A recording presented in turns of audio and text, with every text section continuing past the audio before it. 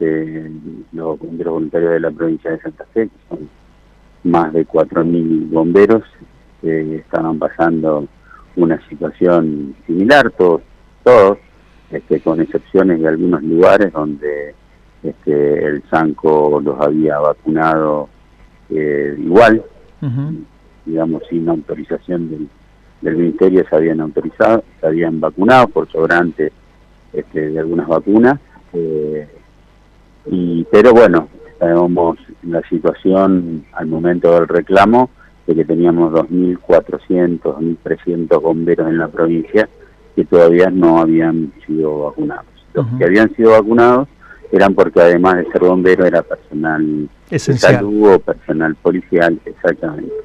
Entonces nos encontramos en una situación bastante compleja, ¿no? Nosotros en particular acá en San Carlos teníamos eh, 18 bomberos vacunados, eh, gracias a la intervención del hospital que inmediatamente que llegaron las primeras vacunas, este, nos asignaron estas vacunas para, para nuestro personal, incluyéndonos con el personal de ellos de salud. Así que bueno, eso lo, lo dice varias veces y lo sigo diciendo que fue este, un principio de tranquilidad para los que estaban en el día a día con el servicio de ambulancia, pero nos encontramos que todos los otros bomberos no, no habían sido vacunados y también salían en el servicio de ambulancia los fines de semana o en apoyo a las guardias o las, las emergencias con accidentes y demás que estaban sin, sin ningún tipo de protección. Eso llevó a que hagamos son reclamos de, todo tipo hasta que, bueno, este, gracias a Dios fuimos escuchados. Este, creo que fue una confusión de cosas.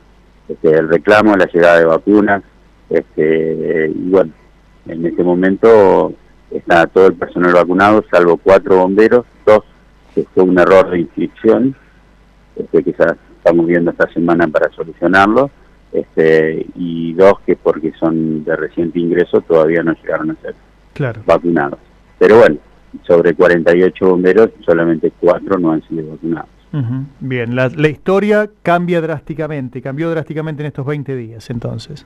Sí, sí, tal cual. A ver, si bien nosotros, este, gracias a Dios por, eh, a ver, por motivos de un, de un servicio, ningún bombero fue ha contraído el, virus, ¿no es cierto? hemos siempre eh, maximizado los, los protocolos de, intervención este, para, para poder resguardar al personal, ¿no es cierto?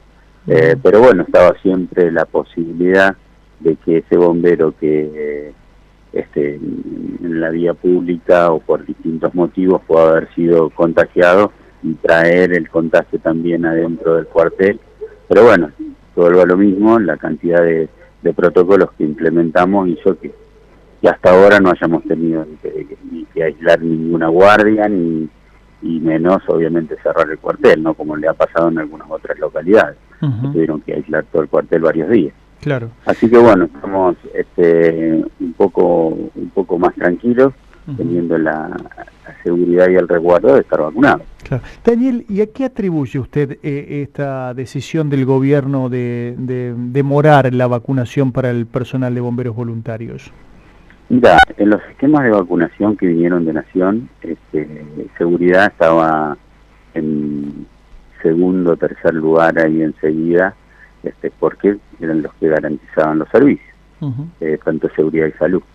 Eh, después, bueno, los esquemas se fueron cambiando a nivel nacional eh, y después este, en la provincia también tuvo una una este, una regulación distinta a lo que bajaba Nación en cuanto a quién le daban prioridad.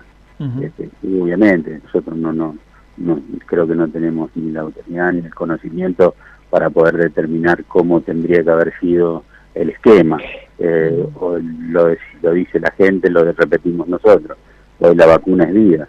Este, ante esa situación, eh, todos los sectores necesitan colocarse la vacuna porque desde el recolector de basura, pasando por el que atiende un supermercado o el banco, este, o, los mismos, la gente de, prensa que está todo el día en la calle, digo, cuando vos empezás a analizar y dar fino, son muchos los sectores que necesitan este, por distintas situaciones estar vacunados.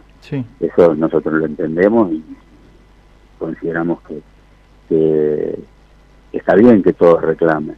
Nosotros de nuestro sector, por tomarlo, por llamarlo de alguna manera, entendíamos que estábamos muy, muy, muy pegados al área de salud, todo lo que sea, sea prehospitalario, puntualmente en San Carlos lo está haciendo bomberos, este, y en la mayoría de las localidades el servicio de bomberos atiende las emergencias de accidente y de intervención con personas, ¿no es cierto? Entonces eso hace que estés en una línea muy cercano al frente. Este, por eso que considerábamos que el sistema de bomberos este, tenía que ser vacunado también lo antes posible, ¿no?